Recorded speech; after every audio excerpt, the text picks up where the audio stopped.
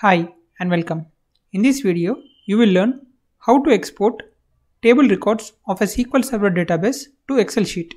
In our previous video, I have given a demo on how to import data from Excel to SQL Server. If you haven't watched this video yet, I will leave a link in the description. You can watch it from there. And if you have visited my channel for the first time and not subscribed my channel, please do subscribe my channel for more videos and hit the bell icon to get notified of the upcoming videos. Let us proceed with a demo. Here is my SQL Server instance. I have sample databases here. Let me take one of the database as an example. So I am taking MyDB as an example. In this database, I have total four tables. So I want to export customer table data to my Excel sheet. First, let me see what are the contents present inside this table. I have total 20 rows. 20 records I have in this customer table. So I want to export these table results to the Excel sheet. Let's see how. Right click on your database. We have tasks and then export data. Once you click on export data, you will get your SQL Server import and export wizard. Click next to proceed. Here, select the data source. My data source is Microsoft SQL Server Native Client 11.0. Here my server name is auto populated. If it is not populate auto populated, you can enter the name or you can select from the drop down list. And I'm going with the Windows authentication and select your database I'm going with my DB database and click next. Here select your destination. My destination is Microsoft Excel and browse the Excel path. I have already saved one Excel sheet here. This is a new Excel sheet I have created. This Excel sheet is empty. You can see it contained no data.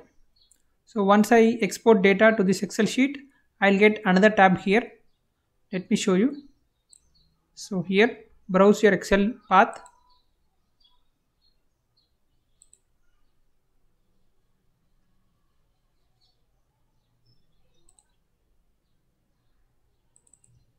This is my Excel sheet. Open. You can also create an Excel sheet, new Excel sheet from here. Just right click on this window and click new and you can create your Excel sheet from here okay. And click next select the version and proceed next. Here you have two options. Copy data from one or more tables or write a specific query for the data transfer. Select this first option if you want to export all the records from the existing table or if you want to write a specific SQL query. Uh, let us say you want to export top 100 rows or you have some T-SQL script where you use inner joins and all. So in that case, you need to select this option and then you have to write your T-SQL statement here. And only those qualified rows will be exported to the Excel sheet. Okay. So for now, I'm going with the first option itself. I'm going to export all the table records.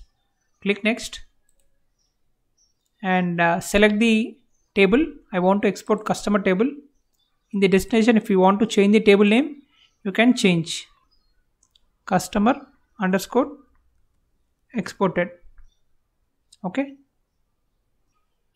You can edit mappings or you can preview the results here. So this is how it will look in your excel sheet. Okay? So i'm okay with this preview. Going next. And click next. Yes i want to run immediately click next and finish. The execution was successful. Now let's check the Excel sheet. Here is my Excel sheet. Let me open. So you can see this is sheet 1. This is my exported table records. I have all my 20 records here. that has been exported from my SQL Server database. So this is how we do it. I hope you have enjoyed this video. In our next video, we will see how to export these records using a batch file. That is going to be so interesting because anyone who has no knowledge on SQL Server can also export the results with just a click. Let's meet in our next video.